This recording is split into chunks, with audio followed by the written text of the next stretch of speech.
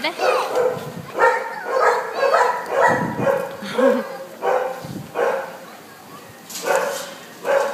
She's got long, droopy ones.